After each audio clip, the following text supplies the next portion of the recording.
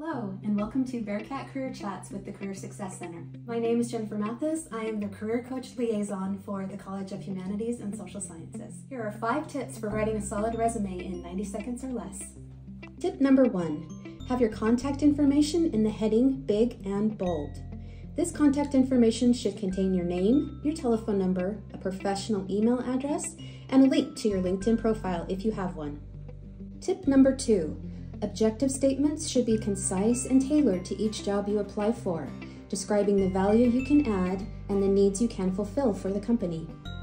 Tip number three education is always listed in reverse chronological order.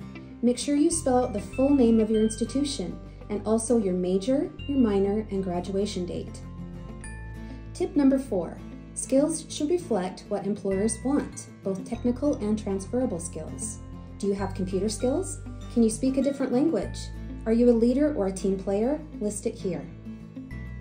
Tip number five list job experience in reverse chronological order. Keep in mind that bullet points are the most important part of your resume.